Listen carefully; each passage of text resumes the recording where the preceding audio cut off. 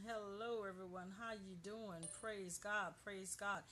This go to live video is about um, getting back the fire of God. Come on, somebody. Hallelujah. Getting back the fire of God. And you already know that uh, we've been having, we're going to say, we're not having any trouble with Facebook Live. Come on, somebody. We're going to just switch that thing up. Come on, somebody. Hallelujah. It's been a minute. It's been a minute. I've been also in consecration mode. Come on, somebody. Hallelujah. So this one is called Getting Back the Fire of God. So many people ask me, they say, Apostle Deanna, how do you get close to God? How do you actually, you know, um, keep the fire going?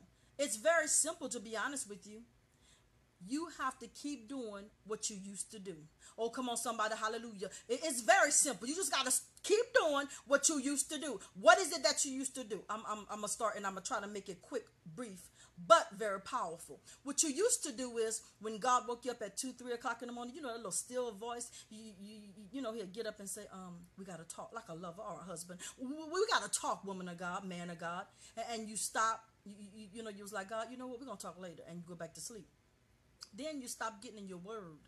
Come on, somebody, hallelujah. You remember when you were in love with that word. Come on, somebody. You was quoting the word. You was speaking the word. You was telling people how to get in the word. You were ministering. Come on, somebody. You was on fire for God, and everybody know it. But you have to understand, it's dangerous, and people don't understand. You know, I hear people all the time, even when I came to Christ, I said the same thing. You know, when you come to Christ and all of a sudden you say, why is it that when I came to Christ, it got hard?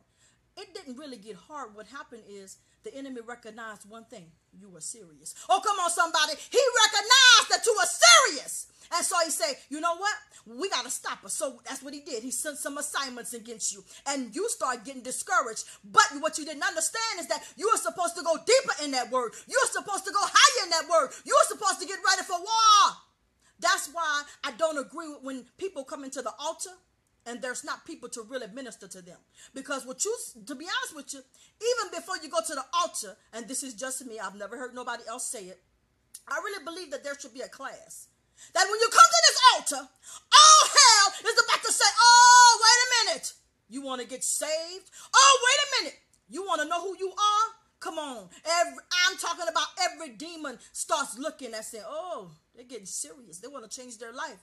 We're going to lose one. We're going to lose some. Come on, somebody. Hallelujah. And so they start sending Pookie, Ray Ray, Fine Shirley. Oh, come on, somebody. Hallelujah. You don't hear what I'm saying. Start sending everything because here's the enemy. Here's the enemy. You see, and that's why I don't understand why we have a church that don't understand the enemy. You in any war, come on, somebody, it, it, it'll show you It'll show you in books. It'll show you in the Bible that in any war you have to have some strategies. Oh, come on, somebody, hallelujah. And the enemy have more strategists than the body of Christ, and that's the problem. We are supposed to understand that our warfare is not it's not carnal, but it's spiritual. I'm not talking about getting up on the phone and say, you know what, I'm going through something, calling somebody. No, no. I'm talking about calling King Jesus and going into seclusion. Okay? I got I got a war to fight. Guess what? I gotta be a warrior. I got to tell you something what God told me. He said, in a war, we need warriors. Mm-mm-mm.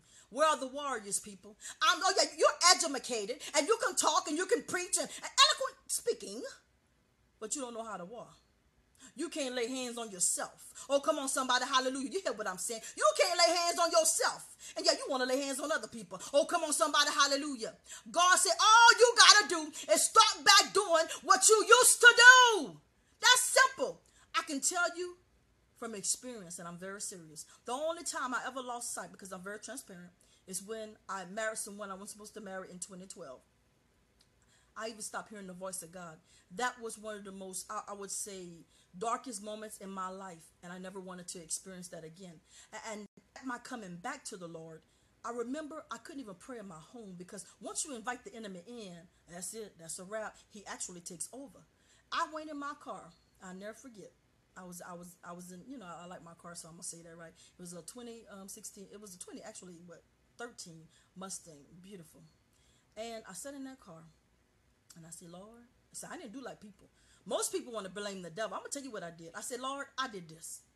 You didn't do it. The devil didn't do it. I did this because I I was obedient, disobedient. I said, but if you give me out of this state thing, I promise you, I ain't gonna never play with you again. I ain't gonna never leave you again. If just get me out of this. And that's what he started doing. God started talking to me. He said, Now this is how you do it. He said, You're gonna have to cut this, you're gonna have to cut this, you, and he got he, and, he, and he tells you, you're gonna have to be strong because you're the one latched on to this thing. Oh, come on, somebody. That's why you have to make sure that what you're connected to is of God. Because if not, it'll pull you from God. And oh, come on, somebody. And I know you think that you're a super Christian and you think it can't happen, but I'm here to tell you, it'll pull you from your God.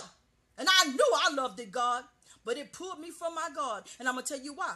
It wasn't just him, it was the demons working in him, through him, and, everybody else that was connected to him. Oh, come on, somebody. So you're thinking you just get married to one person. Oh, let me tell you something. You're getting married to the whole household of demons if they have some. Oh, come on, somebody. Hallelujah. You don't hear what I'm saying. That's why you're supposed to pray. You're supposed to pray and say, God, who is this? Every time you meet somebody, I'm very serious. I don't care who it is. It could be a little bus bus, a little kid. You think I'm playing? Come on, somebody. Y'all don't know how they blowing up people across the third world countries using kids. Y'all better hear what I'm saying. I don't trust nobody. I don't care who. It could be an old lady. I don't care. She might have some bombs on her. She might have. She might be the top demon. Or come on, somebody that then transferred into an old lady body. Y'all don't hear how this thing goes. It's called body snatchers. It's real. It's not just in the movies, honey. You're supposed to ask God, who is this before me? And did you send him? Or this this us, or did he send them? Because it's, it's an assignment however you go. Even when you get married, it's a marriage ministry. Oh, come on, somebody. You just don't marry somebody because they fine or they got a good credit score. Come on, somebody. You marrying your soulmate if it's of God. And if it's not, that's an assignment to kill you, destroy you, steal from you. You think it's a game? And y'all wonder why. So it's not about what happened. You happened. That's what happened. You know, I hear a lot of people say, well, well you know, I, I used to hear God. I, I, used to be on fire for God. I, that was it. I, I, I, because God don't leave us. Oh, come on, somebody. I've been doing this thing for 20 years and it's been hard. It ain't haven't been easy. I made a whole lot of mistakes. I, I heard a whole lot of people. I, I said a whole lot of things that I didn't mean to say. And, and it's a process.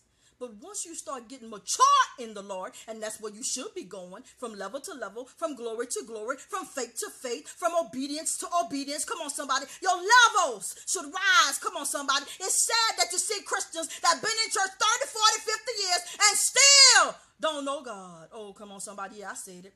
Yeah, I said it. And I'm talking about pastors, bishops, leaders. Don't know God. You hear me? They don't know God.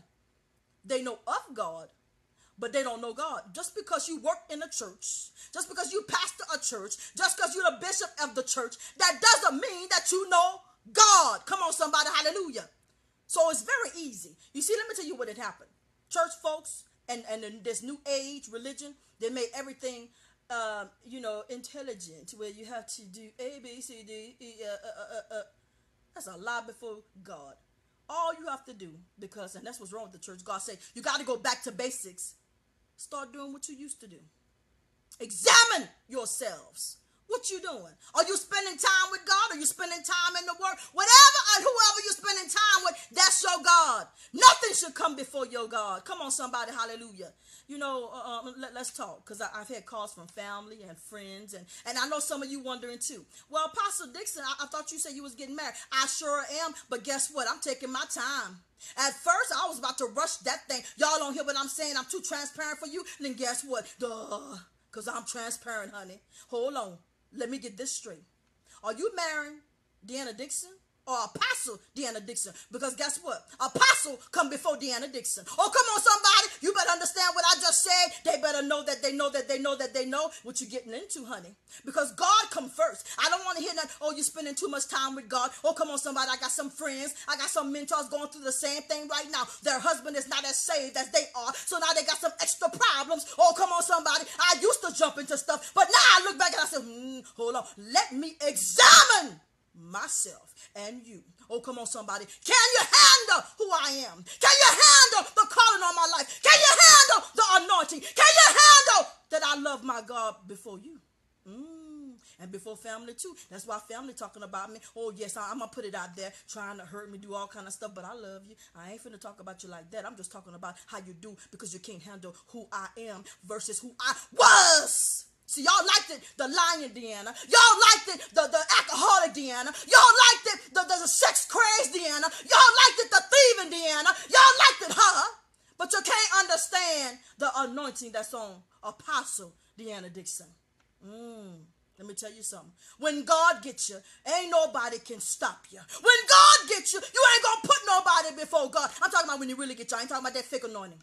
I'm talking about because the real anointing, it'll penetrate from the inside out. That, that, that you can't even help yourself. You'll, you'll try to help yourself. You'll try not to do it, and God, and God will pour thicker on you, and thicker, and thicker. Next thing you know, I surrender, God. I surrender. I don't want to fight no more. I, I, I can't fight you anyway. As a matter of fact, I ain't never saw anybody that fight against God and actually win. Oh, come on, somebody. Hallelujah. Hallelujah. I feel the power of the Holy Ghost. Well, I've been in consecration, y'all. Y'all, y'all don't see it. Y'all better understand. That's why. Let me tell you something. Don't think anything helps me, not even Facebook, honey, because that's why I ain't been on here lately. Because guess what? It ain't just about that the live not working, but guess what? I gotta stay connected to my God. Because let me tell you something. The anointing that's on my life. Oh, you don't hear what I'm saying. I got some real demons. I ain't got no little play demons like them famous ones. Y'all don't hear what I'm saying. Because you can get beside yourself. And God said, wait a minute, honey. That's what's wrong.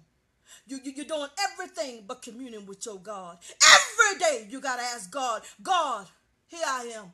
I'm your servant. Because that's what we are. We ain't all that. You, you, you got people wanting to be in the ministry because they want to have a, a, whole team that walk with them like they're a star. Oh, come on, somebody. Like they, they belong in Hollywood. I don't know why you preaching. Hallelujah. Because you're messing up the body of Christ with that foolishness. Now, everything, everybody coming in here thinking that they could just preach and teach and don't, don't even understand about warfare. The first thing about warfare.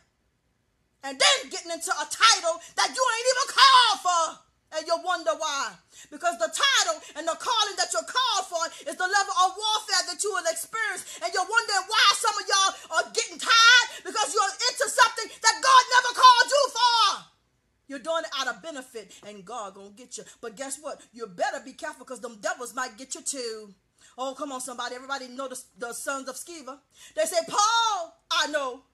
Jesus, I know. But who are you? Hallelujah.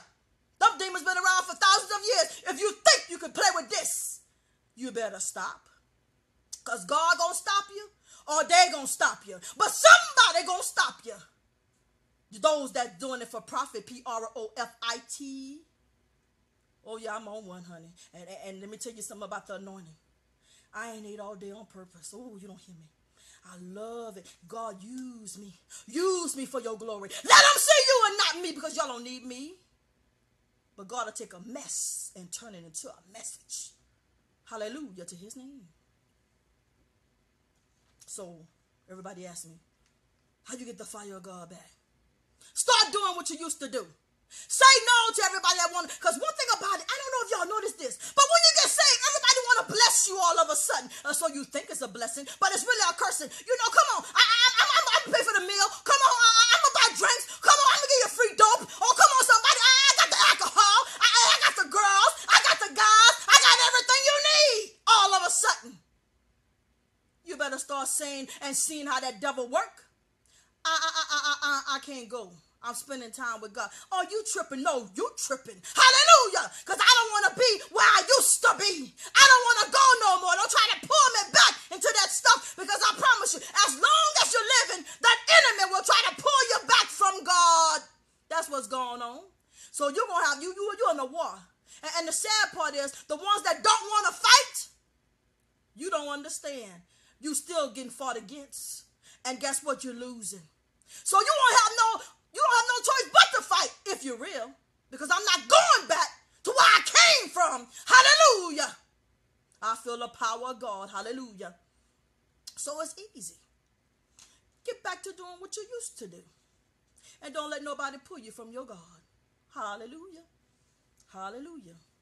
So I love you all. You know I'm going to tell you the truth. Hallelujah. So this is Apostle Deanna Dixon. God bless you. Roll out, soldiers.